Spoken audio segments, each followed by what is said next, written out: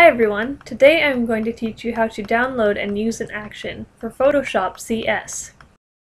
First, find and click the download button for the action you would like to use. On DeviantArt, the download button is located somewhere on the right side of the deviation. If it is in a zip folder, double-click the zip folder to open it. I use WinRAR to unzip my files. Click and drag the .atn or action file to a place on your computer where you would like to preserve it. For now, I am dragging mine to my desktop.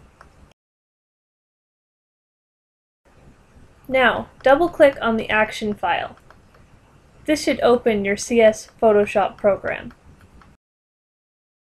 Open up an image you would like to use the action on. Now find your action panel. Mine is on the right.